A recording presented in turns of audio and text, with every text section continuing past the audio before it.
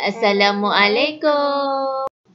Hai korang, hari tu uh, kami mau cabut kacang tanah uh, yang ditanam 3 hingga 4 bulan dah.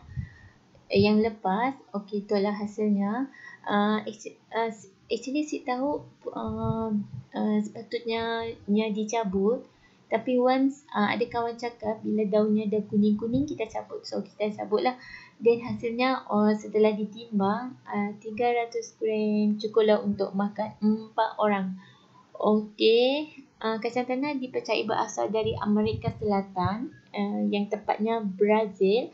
Sekarang ditanam di seluruh dunia kot. Sikatlah pengeluar utama siapa? Mungkin India atau China atau Vietnam. Okey, tanah tu uh, banyak uh, banyak digunakan dalam uh, pelbagai menu makanan. Macam di Malaysia sendiri, oh, kuah sate, uh, dari uh, ya ada biskut kacang, hari raya kita jumpa kan.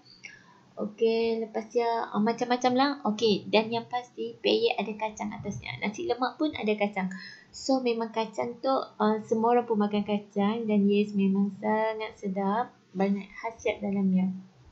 Semenjak pandemik tu, pandemik COVID, uh, banyak masa uh, dihabiskan di rumah.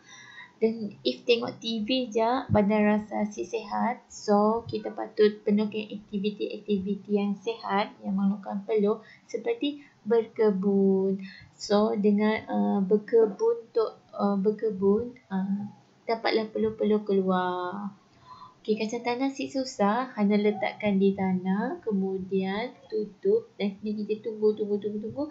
Dan selepas 3 bulan, kita tengok hasilnya. Jangan lupa baca. Okey, itu saja perkongsian. Terima kasih.